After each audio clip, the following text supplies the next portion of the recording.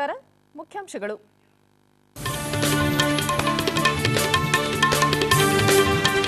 ಕಳೆದ ವರ್ಷ ದೇಶದ ವಿವಿಧ ನ್ಯಾಯಾಲಯಗಳಲ್ಲಿ ಒಟ್ಟಾರೆ ಎರಡು ಕೋಟಿ ಪ್ರಕರಣಗಳ ಇತ್ಯರ್ಥ ಡಿವಿ ಸದಾನಂದಗೌಡ. ಸಶಸ್ತ್ರ ಪಡೆ ಧ್ವಜ ದಿನ. ದೇಶ ರಕ್ಷಣೆಯಲ್ಲಿ ಹುತಾತ್ಮರಾದ ಯೋಧರಿಗೆ ಗೌರವ ನಮನ. ಚೆನ್ನೈ ಪ್ರವಾಹ. ಪರಿಸ್ಥಿತಿಯಲ್ಲಿ ಸುಧಾರಣೆ. ನಿಧಾನವಾಗಿ ಜನಜೀವನ ಸಹಜ ಸ್ಥಿತಿಯತ್ತ. ಹಾಗೂ ತಮಿಳುನಾಡು ಪ್ರವಾಹ ಸಂತ್ರಸ್ತರಿಗೆ ರಾಜ್ಯ ಸರ್ಕಾರದಿಂದ ಅಗತ್ಯ ನೆರವು, ವೈದ್ಯಕೀಯ ಸೌಲಭ್ಯ ಒದಗಿಸಲು ಸಿದ್ಧ ಸಚಿವರಿಂದ ಘೋಷಣೆ. ವಾರ್ತೆಗಳ ವಿವರ. ಕೆಳ ನ್ಯಾಯಾಲಯಗಳು ಸೇರಿದಂತೆ ಭಾರತದ ವಿವಿಧ ನ್ಯಾಯಾಲಯಗಳಲ್ಲಿ ಎರಡು ಸಾವಿರದ ಹದಿನಾಲ್ಕನೇ ಸಾಲಿನಲ್ಲಿ ಒಟ್ಟಾರೆ ಎರಡು ಕೋಟಿ ಪ್ರಕರಣಗಳನ್ನು ಇತ್ಯರ್ಥ ಮಾಡಲಾಗಿದೆ ಎಂದು ಕಾನೂನು ಸಚಿವ ಡಿವಿ ಸದಾನಂದಗೌಡ ಲೋಕಸಭೆಯಲ್ಲಿ ನೀಡಿದ ಲಿಖಿತ ಉತ್ತರದಲ್ಲಿಂದು ತಿಳಿಸಿದ್ದಾರೆ. ಅಧೀನ ನ್ಯಾಯಾಲಯಗಳಲ್ಲಿ ಒಂದು ಕೋಟಿ ತೊಂಬತ್ತು ಲಕ್ಷಕ್ಕೂ ಅಧಿಕ ಪ್ರಕರಣಗಳನ್ನು ಪರಿಹರಿಸಲಾಗಿದ್ದು, ಇನ್ನೂ ಎರಡು ಕೋಟಿ ಅರವತ್ನಾಲ್ಕು ಲಕ್ಷ ಪ್ರಕರಣಗಳು ಬಾಕಿ ಇವೆ ಎಂದು ಸಚಿವರು ವಿವರಿಸಿದ್ದಾರೆ. ಇಪ್ಪತ್ನಾಲ್ಕು ಹೈಕೋರ್ಟ್ಗಳಲ್ಲಿ ಹದಿನೇಳು ಲಕ್ಷಕ್ಕೂ ಅಧಿಕ ಪ್ರಕರಣಗಳು ಎರಡು ಸಾವಿರದ ಹದಿನಾಲ್ಕರಲ್ಲಿ ಇತ್ಯರ್ಥಗೊಂಡಿದ್ದು, ಈ ನ್ಯಾಯಾಲಯಗಳಲ್ಲಿ ನಲವತ್ತೊಂದು ಲಕ್ಷಕ್ಕೂ ಅಧಿಕ ಪ್ರಕರಣಗಳು ಕಳೆದ ಸಾಲಿನ ಡಿಸೆಂಬರ್ ಅಂತ್ಯದ ವೇಳೆಗೆ ಬಾಕಿ ಉಳಿದಿದ್ದವು ಎಂದು ಸದಾನಂದಗೌಡ ತಿಳಿಸಿದರು. ನ್ಯಾಯಾಲಯಗಳಲ್ಲಿ ಉತ್ತಮ ಮೂಲಸೌಕರ್ಯ, ಕಂಪ್ಯೂಟರೀಕರಣ, ನ್ಯಾಯಾಂಗ ಅಧಿಕಾರಿಗಳ ಸಂಖ್ಯೆಯಲ್ಲಿ ಹೆಚ್ಚಳ, ನ್ಯಾಯಾಧೀಶರ ನೇಮಕಾತಿ, ನೀತಿ ಹಾಗೂ ನಿಯಮಗಳ ರಚನೆ, ಮಾನವ ಸಂಪನ್ಮೂಲ ಅಭಿವೃದ್ಧಿ ಸೇರಿದಂತೆ ವಿವಿಧ ಪರಿಣಾಮಕಾರಿ ಕ್ರಮಗಳಿಂದ ಅಧೀನ ನ್ಯಾಯಾಲಯಗಳಲ್ಲಿ ಪ್ರಕರಣಗಳ ಬಾಕಿ ಸಂಖ್ಯೆ ಪ್ರವೃತ್ತಿ ಇಳಿಮುಖವಾಗಿದೆ ಎಂದು ಅವರು ತಿಳಿಸಿದ್ದಾರೆ. Uh, um, uh.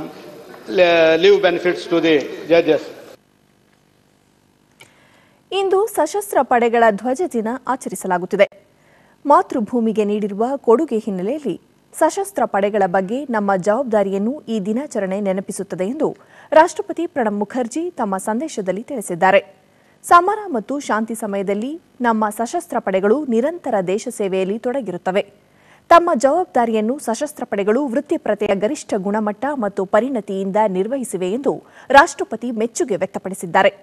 ಭೌಗೋಳಿಕ ಸಮಗ್ರತೆ ರಕ್ಷಣೆ, ಭಯೋತ್ಪಾದನೆ ವಿರುದ್ಧದ ಹೋರಾಟ ಮತ್ತು ಪ್ರಾಕೃತಿಕ ವಿಕೋಪ ಸಂದರ್ಭಗಳಲ್ಲಿ ಸಶಸ್ತ್ರ ಪಡೆಗಳ ಕಾರ್ಯ ಶ್ಲಾಘನೀಯವಾಗಿದೆ ಎಂದು ಅವರು ತಿಳಿಸಿದ್ದಾರೆ. ಕರ್ತವ್ಯ ನಿರ್ವಹಿಸುವಾಗ ಹುತಾತ್ಮರಾದ ಯೋಧರನ್ನು ದೇಶ ಹೆಮ್ಮೆಯಿಂದ ಸ್ಮರಿಸುತ್ತದೆ. ಹುತಾತ್ಮ ಯೋಧರ ಪತ್ನಿಯರು, ಗಾಯಾಳು ಯೋಧರು, ಮಾಜಿ ಯೋಧರು ಮತ್ತು ಅವರ ಕುಟುಂಬಗಳ ಪುನರ್ವಸತಿಗಾಗಿ ಸ್ವಯಂ ಪ್ರೇರಿತ ಕೊಡುಗೆ ನೀಡುವಂತೆ ಅವರು ಜನತೆಗೆ ಮನವಿ ಮಾಡಿದ್ದಾರೆ. ಸಶಸ್ತ್ರ ಪಡೆಗಳ ಧ್ವಜ ದಿನಾಚರಣೆ ಬೆಂಗಳೂರಿನ ರಾಜಭವನದ ಗಾಜಿನ ಮನೆಯಲ್ಲಿ ಇಂದು ಜರುಗಿತು. ರಾಜ್ಯಪಾಲ ವಜೂಬಾಯಿ ವಾಲಾ ಧ್ವಜ ಬಿಡುಗಡೆ ಮಾಡಿ ನಿಧಿ ಸಂಗ್ರಹಣೆಗೆ ಚಾಲನೆ ನೀಡಿದರು.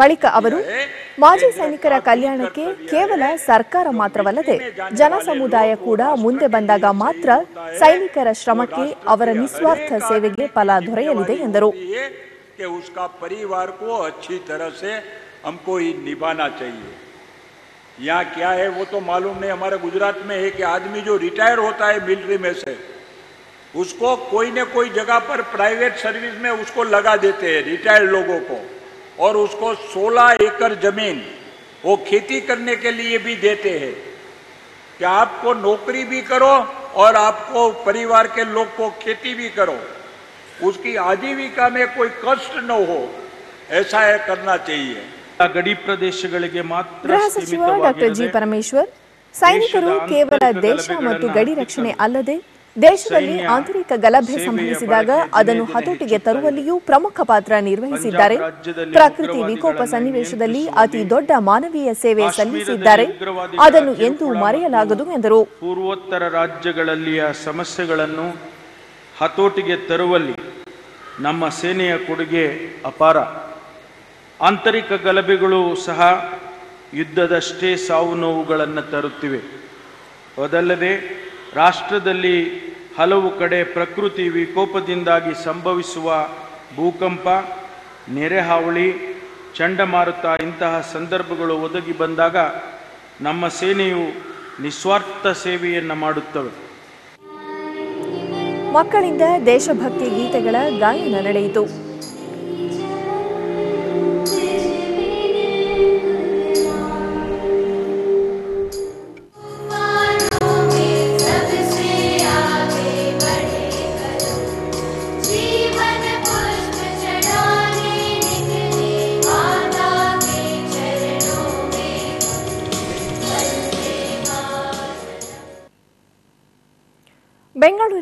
ಆರ್ಮಿ ಸರ್ವಿಸ್ ಕೋರ್ನಲ್ಲಿಂದು ಸೈನಿಕ ಸಮ್ಮೇಳನ ಆಯೋಜಿಸಲಾಗಿತ್ತು ಕೇಂದ್ರದ ಹಿರಿಯ commandant lieutenant general RP Rai ಯೋಧರನ್ನುದ್ದೇಶಿಸಿ ASC ಕೇಂದ್ರದಲ್ಲಿ ತರಬೇತಿ ಪಡೆದ ಯೋಧರು ದೇಶದ ವಿವಿಧೆಡೆ ರಕ್ಷಣಾ ಕಾರ್ಯದಲ್ಲಿ ತೊಡಗಿದ್ದಾರೆ ಗಡಿ ರಕ್ಷಣೆಯಲ್ಲಿ ಯೋಧರ ಸೇವೆ ಅಪಾರ ಎಂದರು ಕೇಂದ್ರದ ಹಿರಿಯ ಸೇನಾಧಿಕಾರಿಗಳು ಸಮಾರಂಭದಲ್ಲಿ ಹಾಜರಿದ್ದರು जो जनरल साहब ने इस कोर के लिए बहुत ऐसे उम्दा काम किए हैं जिन्हें हम कभी भुला नहीं सकते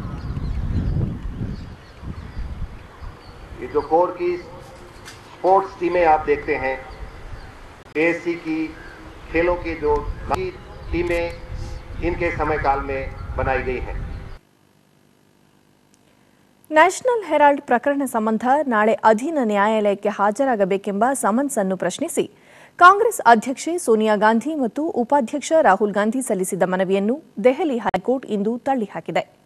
ಈಗ ಸ್ಥಗಿತಗೊಂಡಿರುವ ನ್ಯಾಷನಲ್ ಹೆರಾಲ್ಡ್ ದಿನಪತ್ರಿಕೆಯ ಮಾಲೀಕತ್ವ ಪಡೆಯುವ ನಿಟ್ಟಿನಲ್ಲಿ ವಂಚನೆ ಮತ್ತು ವಿಶ್ವಾಸದ್ರೋಹ ಆರೋಪ ಹೊರಿಸಿ ಬಿಜೆಪಿ ನಾಯಕ ಸುಬ್ರಹ್ಮಣ್ಯನ್ ಸ್ವಾಮಿ ಏಳು ಮಂದಿಯ ವಿರುದ್ಧ ಸಲ್ಲಿಸಿದ್ದ ದೂರಿನ ಆಧಾರದ ಮೇಲೆ ಅಧೀನ ನ್ಯಾಯಾಲಯ ಸಮನ್ಸ್ ಜಾರಿಗೊಳಿಸಿತು ಈ ಹಿನ್ನೆಲೆಯಲ್ಲಿ ಸೋನಿಯಾ ಗಾಂಧಿ, ರಾಹುಲ್ ಗಾಂಧಿ, ಸುಮನ್ ದುಬೆ, ಮೋತಿಲಾಲ್ ಓರಾ, ಆಸ್ಕರ್ ಫರ್ನಾಂಡಿಸ್ ಸ್ಯಾಮ್ ಪಿತ್ರೋಡಾ ಮತ್ತು ಯಂಗ್ ಇಂಡಿಯಾ ಸಂಸ್ಥೆ ಪ್ರತಿನಿಧಿ ನಾಳೆ ಅಧೀನ ನ್ಯಾಯಾಲಯದಲ್ಲಿ ಹಾಜರಾಗಬೇಕಿದೆ ನ್ಯಾಯಾಲಯದ ನಿರ್ಧಾರ ಸ್ವಾಗತಿಸಿರುವ ಸುಬ್ರಮಣಿಯನ್ ಸ್ವಾಮಿ ನ್ಯಾಷನಲ್ ಹೆರಾಲ್ಡ್ ಪತ್ರಿಕೆಗೆ ಸಂಬಂಧಿಸಿದ ನೂರಾರು ಕೋಟಿ ರೂಪಾಯಿ ಮೊತ್ತದ ಆಸ್ತಿಯ ದುರುಪಯೋಗವಾಗಿದ್ದು ಈ ಪ್ರಕರಣದಲ್ಲಿ ಎಲ್ಲ ಆರೋಪಿಗಳು ನ್ಯಾಯಾಲಯದಲ್ಲಿ ಹಾಜರಾಗಲೇಬೇಕಿದೆ ಎಂದು ತಿಳಿಸಿದ್ದಾರೆ आज ये तय हुआ है कि उनका जो सोनिया गांधी राहुल गांधी और अन्य लोगों का जो याचिका है हाईकोर्ट में ये बेबुनियाद है उसको रद्द कर दिया है और कहा कि आपको ट्रायल कोर्ट में अपियरेंस करना चाहिए। उन्होंने पूछा आ, कि हमें एग्जेम्पशन तो दे दीजिए सोनिया गांधी और राहुल गांधी को खुद पे, खुद पेश ना हो उसके लिए भी उन्होंने मना कर दिया और अब आ, आ, उनको कल हाजिर होना पड़ेगा। आ, आगे उनको मैं सोचता हूँ निश्चित तौर पर आ, सुप्रीम कोर्ट जाएँगे उसके लिए हम तैयार हैं। परंतु टाइम वेस्ट नहीं करना चाहिए उनको आ, आज तक कहते आए हैं कि स्वामी बेबुनियाद बातें करते आता है अपना बदला ले रहा है राजनीतिक काम कर रहा है तो यदि हमारे पास कोई सामग्री नहीं है तो फिर कोर्ट में जाकर सीधा ट्रायल में खड़े हो जाएं और वहाँ बहस करने के लिए करना चाहिए टाइम को और वेस्ट नहीं करना चाहिए कानून अपना काम कर ಬಿಜೆಪಿ रहा है ಮುಖಂಡ ಶಾ ನವಾಜ್ ಹುಸೇನ್ ಕಾನೂನು ಎದುರಿಸುವುದು ಕಾಂಗ್ರೆಸ್ ನಾಯಕರಿಗೆ ಈಗ ಅನಿವಾರ್ಯವಾಗಿದೆ ಎಂದು ಪ್ರತಿಕ್ರಿಯಿಸಿದ್ದಾರೆ इसलिए उन्होंने वो कोर्ट में गए थे खुद भी, और इस पर भी उनको जवाब देना होगा, क्योंकि भारत का कानून भारत की आम जनता के लिए और सोनिया जी और राहुल जी के लिए बराबर ही है। संविधान ने उनको बराबर का अधिकार दिया है। तो भारत के अंदर कानून से लुका छिपी ज़्यादा देर चलती नहीं है। कानून को फेस करना पड़ता है और उनको फेस करना पड़ेगा। हम इसको कानूनी चुनौती देने ಈ वाले हैं ಮಧ್ಯೆ ಹೈಕೋರ್ಟ್ ಆದೇಶವನ್ನು ಸುಪ್ರೀಂ ಕೋರ್ಟ್ನಲ್ಲಿ ಪ್ರಶ್ನಿಸುವುದಾಗಿ ಕಾಂಗ್ರೆಸ್ ಪಕ್ಷದ ವಕ್ತಾರ ಅಭಿಷೇಕ್ ಮನು ಸಿಂಘ್ವಿ कानून सबके लिए ತಿಳಿಸಿದ್ದಾರೆ समान है। और कांग्रेस और कांग्रेस के उच्च पदाधिकारी हमेशा कानून के प्रति नतमस्तक रहे ಸುಬ್ರಮಣಿಯನ್ ಸ್ವಾಮಿ ಸುಪ್ರೀಂ ಕೋರ್ಟ್ನಲ್ಲಿ ಕೆವಿಎಟ್ ಸಲ್ಲಿಸಿರುವುದರಿಂದ ಪ್ರಕರಣ ಕುರಿತು ಯಾವುದೇ ನಿರ್ಧಾರ ಕೈಗೊಳ್ಳುವ ಮುನ್ನ ನ್ಯಾಯಾಲಯ ಸುಬ್ರಮಣಿಯನ್ ಸ್ವಾಮಿ ಅವರ ಅಭಿಪ್ರಾಯ ಆಲಿಸಬೇಕಿದೆ ಚೆನ್ನೈನಲ್ಲಿ ಪ್ರವಾಹ ಪರಿಸ್ಥಿತಿ ಸುಧಾರಿಸಿದ್ದು ಜನಜೀವನ ನಿಧಾನಗತಿಯಲ್ಲಿ ಸಹಜ ಸ್ಥಿತಿಗೆ ಮರಳುತ್ತಿದೆ. ನಗರದ ಎಲ್ಲ ಕಡೆ ಮತ್ತೆ ವಿದ್ಯುತ್ ಪೂರೈಕೆ ಪುನರಾರಂಭವಾಗಿದೆ. ರೈಲು ಸಂಚಾರ ಸಹ ಬಹುತೇಕ ಎಲ್ಲ ಕಡೆ ಮರು ಆರಂಭಗೊಂಡಿದೆ.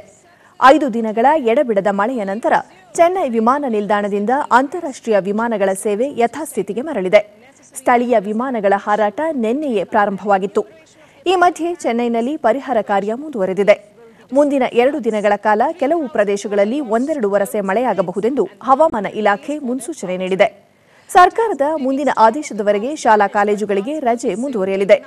ಈ ಮಧ್ಯೆ ನಾಗರಿಕ ವಿಮಾನಯಾನ ಸಚಿವ ಅಶೋಕ್ ಗಜಪತಿ ರಾಜು, ತಮಿಳುನಾಡು ಮುಖ್ಯಮಂತ್ರಿ ಜಯಲಲಿತಾ ಅವರನ್ನು ಭೇಟಿಯಾಗಿ ಕೇಂದ್ರ ಮತ್ತು ರಾಜ್ಯ ಸರ್ಕಾರ ನಡುವಿನ ಸಹಕಾರ ಕುರಿತು ಮಾತುಕತೆ ನಡೆಸಿದರು. ಆನಂತರ ಅವರು ಕೇಂದ್ರ ಮತ್ತು ರಾಜ್ಯ ಸರ್ಕಾರ ಹೇಗೆ ಒಗ್ಗೂಡಿ ಕಾರ್ಯನಿರ್ವಹಿಸಬಹುದೆಂಬ ಕುರಿತು ಮಾತುಕತೆ ನಡೆಸಿದಾಗಿ ತಿಳಿಸಿದರು. ಮತ್ತೊಂದೆಡೆ ವಿದೇಶಾಂಗ ವ್ಯವಹಾರಗಳ ಸಚಿವೆ ಸುಷ್ಮಾ ಸ್ವರಾಜ್, ಪ್ರವಾಹದಲ್ಲಿ ಪಾಸ್ಪೋರ್ಟ್ ಕಳೆದುಕೊಂಡವರಿಗೆ ಉಚಿತವಾಗಿ ನೂತನ ಪಾಸ್ಪೋರ್ಟ್ ಒದಗಿಸಲಾಗುವುದು ಎಂದು ಹೇಳಿದ್ದಾರೆ.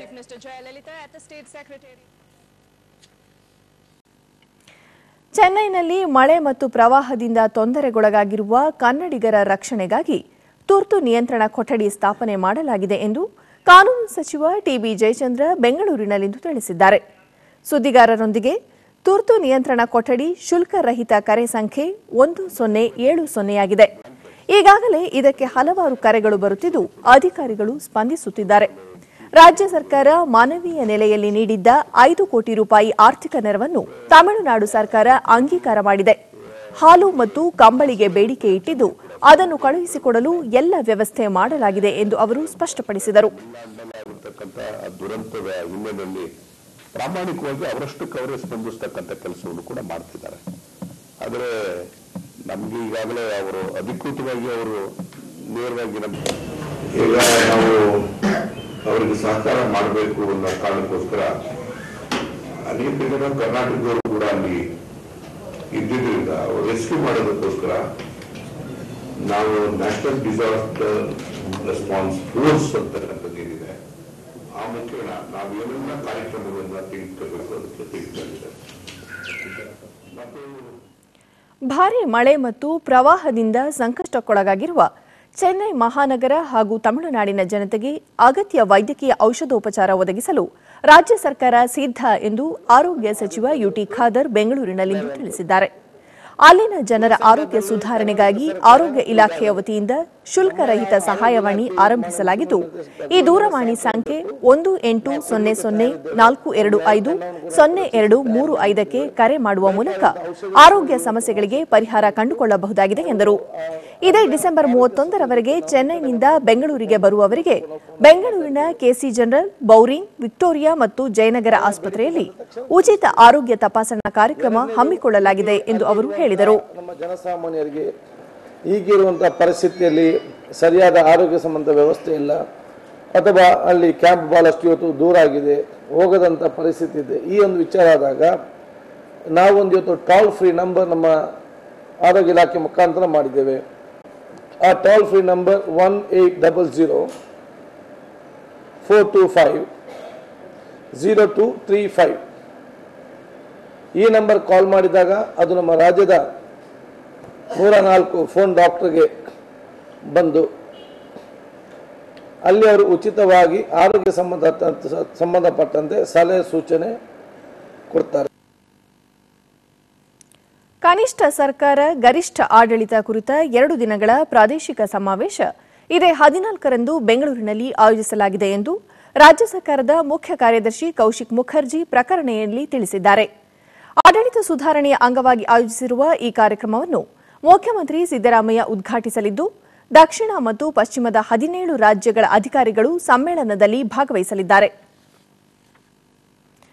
ಕೇಂದ್ರ ಸರ್ಕಾರ ವಿವಿಧ ವರ್ಗ ಅಭಿವೃದ್ಧಿ ಕಾರ್ಯಕ್ರಮದಡಿ ಅಲ್ಪಸಂಖ್ಯಾತ ಸಮುದಾಯದವರಿಗೆ ತಂತ್ರಜ್ಞಾನ ಕಲಿಕೆಗೆ ಪೂರಕವಾದ ಸ್ಮಾರ್ಟ್ ಕ್ಲಾಸ್ ಯೋಜನೆಯನ್ನು ರೂಪಿಸುವಂತೆ ಕೇಂದ್ರ ಅಲ್ಪಸಂಖ್ಯಾತರ ಕಲ್ಯಾಣ ಸಚಿವೆ ನಜ್ಮಾ ಎ ಹೆಫ್ತುಲ್ಲಾ ಅವರಿಗೆ ರಾಜ್ಯ ಅಲ್ಪಸಂಖ್ಯಾತರ ಕಲ್ಯಾಣ ಸಚಿವ ಡಾ ಖಮ್ರುಲ್ ಇಸ್ಲಾಂ ದೆಹಲಿಯಲ್ಲಿಂದು ಮನವಿ ಮಾಡಿದರು. ಅಲ್ಪಸಂಖ್ಯಾತ ಸಮುದಾಯದವರಿಗೆ ಕಂಪ್ಯೂಟರ್, ಅಂತರ್ಜಾಲ ಸೇರಿದಂತೆ ಮಾಹಿತಿ ತಂತ್ರಜ್ಞಾನ ಕಲಿಕೆಗೆ ಪೂರಕವಾಗಿರುವ ಸ್ಮಾರ್ಟ್ ಕ್ಲಾಸ್ ಸೈಬರ್ ಗ್ರಾಮ ಯೋಜನೆಯನ್ನು ರೂಪಿಸಬೇಕು ಎಂದು ಸಚಿವರು ಆಗ್ರಹಿಸಿದರು. ತಜಕಿಸ್ತಾನದಲ್ಲಿಂದು ಅಪರಾಹ್ನ ಒಂದು ಇಪ್ಪತ್ತರ ವೇಳೆಗೆ ರೆಕ್ಟರ್ ಮಾಪಕದಲ್ಲಿ ಏಳರಷ್ಟು ತೀವ್ರತೆಯ ಭೂಕಂಪ ಸಂಭವಿಸಿದೆ. ಶ್ರೀನಗರ, ದೆಹಲಿ, ನೋಯ್ಡಾ ಮತ್ತು ಸುತ್ತಮುತ್ತಲ ಪ್ರದೇಶಗಳಲ್ಲಿ ಭೂಕಂಪನದ ಅನುಭವವಾಗಿದೆ. ಆದರೆ ಆಸ್ತಿ ಮತ್ತು ಪ್ರಾಣಹಾನಿ ಕುರಿತು ತಕ್ಷಣವೇ ಯಾವುದೇ ಮಾಹಿತಿ ಲಭ್ಯವಾಗಿಲ್ಲ. ದೆಹಲಿಯ ಫಿರೋಜ್ ಶಾ ಕೋಟ್ಲಾ ಕ್ರೀಡಾಂಗಣದಲ್ಲಿ ನಡೆದ ದಕ್ಷಿಣ ಆಫ್ರಿಕಾ ವಿರುದ್ಧದ ನಾಲ್ಕನೇ ಹಾಗೂ ಅಂತಿಮ ಕ್ರಿಕೆಟ್ ಟೆಸ್ಟ್ನಲ್ಲಿ ಭಾರತ ಇಂದು ಮುನ್ನೂರ ಮೂವತ್ತೇಳು ರನ್ಗಳಿಂದ ಗೆದ್ದು ಸರಣಿಯನ್ನು ಮೂರು ಸೊನ್ನೆ ಅಂತರದಿಂದ ತನ್ನದಾಗಿಸಿಕೊಂಡಿದೆ. ಈ ಗೆಲುವಿನ ಮೂಲಕ ಭಾರತ ಐಸಿಸಿ ಟೆಸ್ಟ್ ರ್ಯಾಂಕಿಂಗ್ನಲ್ಲಿ ಎರಡನೇ ಸ್ಥಾನಕ್ಕೆ ಏರಲಿದೆ. ನಾನೂರ ಎಂಬತ್ತೊಂದು ರನ್ಗಳ ಭಾರಿ ಗುರಿ ಬೆನ್ನತ್ತಿದ ದಕ್ಷಿಣ ಆಫ್ರಿಕಾ ನೂರ ನಲವತ್ಮೂರು ಪಾಯಿಂಟು ಒಂದು ಓವರ್ಗಳಲ್ಲಿ ನೂರ ನಲವತ್ಮೂರು ರನ್ಗಳಿಗೆ ತನ್ನೆಲ್ಲ ವಿಕೆಟ್ ಕಳೆದುಕೊಂಡು ಸೋಲಿಗೆ ಶರಣಾಯಿತು.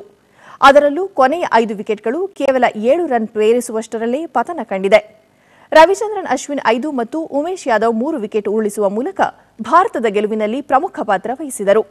ದಕ್ಷಿಣ ಆಫ್ರಿಕಾ ಪರವಾಗಿ ಎಬಿ ಡೆವಿಲಿಯರ್ಸ್ ನಲವತ್ಮೂರು ಮತ್ತು ಬೌಮಾ ಮೂವತ್ನಾಲ್ಕು ರನ್ ಗಳಿಸಿದರು.